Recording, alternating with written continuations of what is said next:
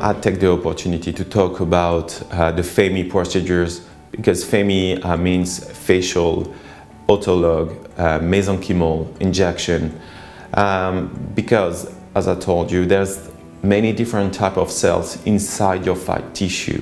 And we use the pre-adipocyte who we are calling the stem cells and we, we are injecting these cells inside the muscles just to restore the volume of your muscles.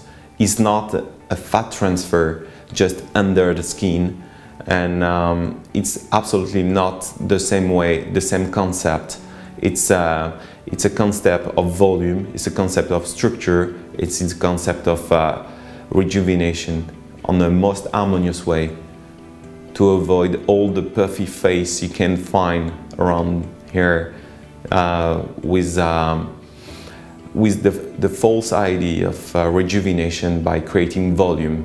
I just want to restore the volume you used to have in the past.